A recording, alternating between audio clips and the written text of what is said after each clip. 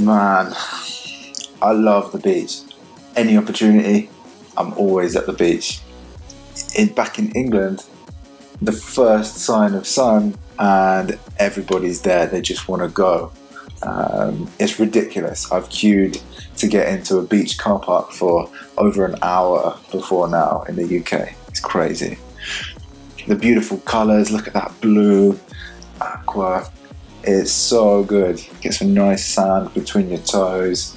You go for a nice long walk. I love the beach. Check this out. This guy's surfing. This guy is in the tube. We call it the tube. He's catching some serious wave. And look at those mountains in the background.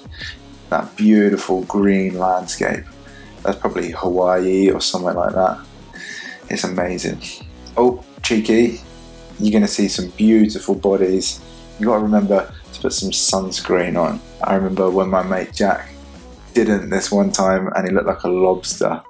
Uh, it's so important for you to make sure you put sunscreen on. It's also very important to drink water as well. Obviously, when you go, when we go to the beach, we always want to have a drink, a beer, a cocktail, but you got to drink water. Haven't you? It's so important to stay hydrated. You want to be up, you want to be about, go for a nice walk, take some nice photos.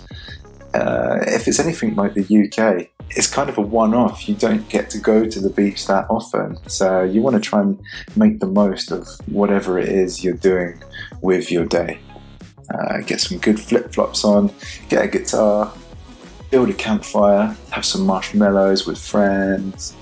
It's uh, you can really create a really nice atmosphere if you're going with the right people. Yeah, enjoy your day. Enjoy the sand between your toes. It's uh, it's a fantastic experience. I love the beach. I really love it.